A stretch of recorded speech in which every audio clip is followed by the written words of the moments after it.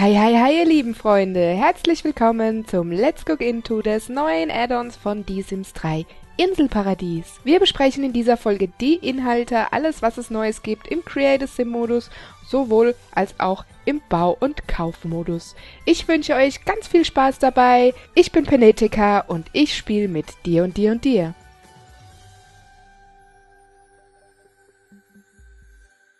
Im Creative Sim Modus haben wir natürlich neue Frisuren, auch für die Damenwelt. Vier an der Zahl. Wer sich die genauer angucken will, kann natürlich jederzeit auch mal Pause drücken. Ich werde nicht so viel dazu sagen. Ihr seht ja alles selbst. Macht euch euer eigenes Bild, macht euch eure eigene Meinung. Hier haben wir die Frisuren mit Accessoires. Auch davon sind es nicht so viele. Ja, Kleidung, Oberteile für Frauen, da gibt es schon ein bisschen mehr zu sehen. Sehr äh, an dem Inselthema auch angelehnt auch einiges so ein bisschen im Hispano-Look, so ja, leicht lateinamerikanisch vielleicht hier, sowas zum Beispiel. Mhm, ansonsten finde ich die Klamotten für die Frauen eigentlich ganz gut gelungen. Ist jetzt nicht das bahnbrechende Teil dabei, aber die sind schon ganz nett. Ja, hier wieder so ein bisschen Bolero-Jäckchen-Style. Und dann natürlich auch alles so ein bisschen seriöser, falls man sich dazu entscheidet, die neue Karriere anzugehen des Ressortleiters. Und das, was ihr eben gesehen habt, das war dann eher so für den Freischwimmer, nein, für den Rettungsschwimmer natürlich. Ja, bei den Unterteilen äh, dominieren auf jeden Fall für die Frauen die Röcke ganz stark. Sehr, sehr, sehr viele Röcke. Ich glaube, nur eine kurze Hose oder so gibt's. Es gibt natürlich auch Wiederkombinationen, sehen wir hier. Alles ziemlich frisch, luftig ja, auf der Isla Paradiso ist eben nie Winter. So sieht das hier zumindest gerade aus. Ist auch alles so ein bisschen im Hippie-Look. Ich finde es persönlich sehr schön. Mir gefällt es extrem gut. Vor allem auch, ja, diese bunten Farben finde ich alles wirklich sehr gut. Kann ich mir gut vorstellen, eine meiner Siminnen auch mal so anzuziehen. Schuhe leider nur ein Paar für die Damen. Hier Riemchen. Äh, eine Sonnenbrille haben wir als Accessoire und die Pfeife für die, die sich für die Rettungsschwimmerkarriere entscheiden oder wenn man widerspenstige Kinder hat, wer weiß. Es gibt natürlich auch neue Badekleidung, ist klar, bei einem Inselparadies äh, Add-on muss es natürlich ganz viel neue Badekleidung geben. Die Badeanzüge für die Damenwelt finde ich sehr gut gelungen. Und wer sich für eine Karriere als Taucher entscheidet oder das einfach nur zum Sport betreiben will, der findet natürlich auch die komplette Ausrüstung samt Schnorcheln und Gasmaske. Nein, diese Tauchermasken gibt es eben jetzt auch. Es gibt auch neue Persönlichkeitsmerkmale. Einmal schwimmbegeistert. Diese Sims fühlen sich im Wasser wie zu Hause und finden ein besonderes Vergnügen darin, sich in den Fluten aufzuhalten. Segler lieben das offene Meer und halten sich lieber auf einem Boot auf als an Land. Ihre Erfahrung auf dem Wasser sorgt dafür, dass sie besser Fische fangen können und seltener seekrank werden. Außerdem gibt es noch neue Lebenswünsche. Große Entdeckerin. Alle unentdeckten Inseln besitzen. Es gibt mysteriöse Landstriche, die noch von keinem Sim entdeckt wurden. Um sie zu finden, muss dein Sim Segel setzen, sich auf hohe See hinauswagen und in die tiefsten Meerestiefen tauchen. Lass nichts unversucht, um diese unentdeckten Inseln zu finden und für dich zu beanspruchen. Außerdem gibt es noch die Tiefseetaucherin oder den Tiefseetaucher. Um diese zu erfüllen, sollte man seine Tauchfähigkeit perfektionieren und 40.000 Simoleons durch den Verkauf von Tauchsammelobjekten verdienen. Der Grund des Ozeans birgt Schätze und Geschöpfe, die Sims, die an Land bleiben, nie zu sehen bekommen. Nur die tollkühnsten Taucher überstehen die Suche nach Kostbarkeiten in den tiefsten Tiefen des Ozeans. Vergiss deine Sauerstoffflasche nicht. Des Weiteren haben wir noch das Resort Imperium. Um ein wahrer Hotelmogul zu werden, muss dein Sim Mitarbeiter führen, Profit erwirtschaften und seine Gäste stets zufriedenstellen. Hat dein Sim erst einmal das perfekte Resort Imperium errichtet, werden Gäste aus aller Welt herbeiströmen, um einen Aufenthalt in deiner Luxusoase zu verbringen. Zur Erfüllung 5 Sterne Resort besitzen und 40.000 Simoleons mit den Resort-Einnahmen verdienen. Die Küstenretterin. Jeder kann Rettungsschwimmer sein, aber ein Sim, der andere Sims vor dem Ertrinken rettet, ist ein echter Held. Sei der Held deiner Stadt. Als Rettungsschwimmer 50 Sims retten, das ist die Aufgabe. Gleichberechtigung auch für die Männer. Auch vier Frisuren hier, die ich persönlich, zumindest die meisten, auch ganz nett finde. Wir haben hier auch mal endlich wieder einen schönen Rasterlook. Kennen wir ja jetzt auch schon von Studentenleben. Ja, hier mit Hüten, einmal Strohhut, einmal mehr so Bolero-Style und die Taucherkappe. Das war's dann leider auch schon mit Accessoires-Geschichten äh, bei den Männerfrisuren. Ist ein bisschen mau. Auch hier ein bisschen Hispano, viele Hemden, Hemden, Hemden, Hemden. Mit Druck, ohne Druck, mit Vordertasche, ohne Vordertasche. Ein Westchen gibt's hier. Und hier auch so, da sind mit den Rüschenblüschen ist natürlich hier auch extrem schick. Dr schick. Ja, dann haben wir hier, das ist ein bisschen lässiger und nochmal ein bisschen lässiger für die jüngeren äh, Sportfreaks auf der Insel. Ja, und dann eben auch hier die Schwimmweste und das Bademeisteranzügchen. Und dann haben wir natürlich bei den Hosen Unmengen kurze Hosen, die man dann auch als Badehosen verwenden kann. Da gibt es wirklich jetzt mittlerweile eine große Auswahl. Hier mit einem Gürtel, die geht nicht als Badehose. Eine lange, die ich persönlich ein bisschen fragwürdig finde. Bei den Accessoires selbe wie bei den Frauen eine Sonnenbrille und auch die Trillerpfeife.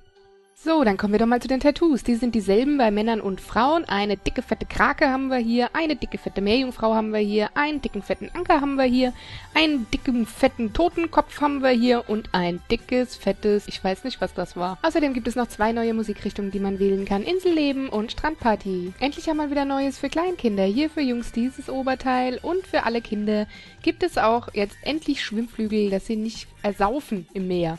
Für die Mädchen gibt es noch ein bisschen mehr anzuziehen, auch für die ganz Kleinen und für die Damen diese hübsche, schicke Frisur. Auch für die Mädels gibt es ganz viele neue Klamotten, also für Kinder im Kindesalter diese seltsame Pfadfinderausrüstung, ganz viele T-Shirts mit verschiedenen Drucken, das schicke Ärmellose hier mit dem Schleifchen oben an der Schulter. Dann gibt's hier auch noch so diesen, ja, dieses Neckholder etwas länger, dieses, ja, T-Shirt ärmellos und auch die Schwimmweste gibt's für Kinder. Das ist ja auch sehr hilfreich. Für die Mädels eine kurze Hose und ein schickes Kleid. Und natürlich zu den Schwimmflügeln passend noch die Taucherausrüstung. Die Jungs bekommen auch den, das Pfadfinder-Outfit, verschiedene T-Shirts, dieselben, die die Mädels hatten ihn mit denselben Aufdrucken und nochmal ein extra ärmelloses, sowohl als auch den Taucheranzug. Und für die Teenies gibt es einiges, was es für die Erwachsenen auch gibt. Nicht alles, aber lasst euch überraschen. Das wohl allerneueste im Bau- und Kaufmodus sind die neuen Hausboote, mit denen man auch übers Meer schippern kann. Für das Badezimmer eine neue Dusche bzw. Dusch-Bad-Kombination und die Komplettkombination mit Toilette integriert, sehr praktisch für eine kleine Kombüse. Ganz viele Tische, Tische, Tische, Tische. Ein Bett. Ein Bett ist nett. Ganz viele Stühle. Stühle, Stühle, Stühle, Stühle, Stühle. Liegestühle, äh, Bänke, Hochstühle. Alles. Auch ein Zelt. Das gucken wir uns jetzt gleich mal an, wie das Zelt ausgedingst an, also ausgepackt aussieht. Wir platzieren es auf unserem Hausboot, was nicht funktioniert. Wo ist unser Zelt? Ah, unter Wasser. Ein Unterwasserzelt. Sehr schön. Dann gibt es die neue Unterwasserkamera. Es gibt auch neues Entflammbares. Probieren wir doch gleich mal aus. Das hast du aber schön gemacht. Juhu! Und die neue Laune, heiße Sohle. Lampen, Lampen, Lampen, Lampen, Lampen. Es geht uns ein Licht auf. Das sind sehr hohe Lampen hier teilweise, die passen eigentlich nur in zweistöckige Räume. Auch Blumen. Blumen, Blumen, Blumen. Sehr schick. Bilder, Bilder, Bilder, Bilder. Ohne Rahmen, mit Rahmen, mit Muscheln. Sehr schön. Und ein bisschen Pin-Up. Dieser schicke Rahmen hier ist, um Durchgangsbögen zu verzieren. Sehr gelungen. Hübsche Fenster haben wir auch. Wo du reinschaust, kannst du auch rausschauen. Das hier ist fürs Dach von eurem Haus, nochmal fürs Dach und nochmal fürs Dach. Und nochmal fürs Dach. Schön. Noch ein Schild fürs Dach oder auch für unten und noch ein Schild. Auch eine hübsche Dachkuppel. Brunnen, Brunnen, Brunnen. Schauen wir uns mal an, wie die angeschaltet aussehen. Wo ist das Wasser? Keiner dieser Brunnen gibt Wasser von sich. Wow. Okay. Da kommt nichts raus. Wo ist denn das Wasser? Hier ist der große Mörderbrunnen. Auch nicht schlecht. Unser Hausboot ist schon voll. Ja, Verzierung, Verzierung. Das hier ist wieder fürs Dach ein Schild, ein Hai, ein Papagei, ein Schirm und noch ein Schild. Das ist toll, da kann man seinen Liegestuhl drunter stellen und sich einen Cocktail schmecken lassen. Bootsanlegestellen, auch super. Und ein hübsches Bootswägelchen. Da zeige ich euch jetzt mal die tollen neuen Boote. Das hier ist ein kleines, ich glaube es ist ein Tretboot, ein Paddelboot, ein Schwan, ein Jetski, ein Segelboot und ein Motorboot und ein großes Motorboot. Motorbootbahn. Hui, Papi. Und wenn euch der Papi dann auf hoher See rausgeschmissen hat, gibt's auch noch ein Taxiboot. Juhu. Dann gibt es die neuen Rutschen für in den Pool rein. Sieht man jetzt hier besonders gut. Ich kann die auch aus irgendeinem Grund nur oben hin machen. Wasserfälle gibt's auch für einen Pool. Poolwasserfälle, Poolbars sieht man besonders gut, wenn man keinen Pool hat. Neue Türen. Tür, Türen. Die Poolbar ist übrigens ziemlich cool und der Poolwasserfall eigentlich auch hätte, wenn man einen Pool hat. Türen, Türen, Türen, Türen. Viele neue Türen, sogar Garagentore. Tore, Tore, Tore, Garagentore. Ja, noch ein Garagentor. Hm, schick. Und ein hübscher Durchgang. Den kann man allerdings nicht mit dem Durchgangsverzierer verzieren. Noch mehr Fenster. Fenster, Fenster. Übrigens hier mal mit Fensterläden. Finde ich auch sehr schön. Leider kann man sie natürlich nicht manuell auf und zu machen. Schicke Säulen, schicke Säulen, Papageisäulen. So, und hier haben wir die neuen Tapeten und Farben und Wellen. Yeah! Ganz viele Tapeten, neue Tapeten und Blumen.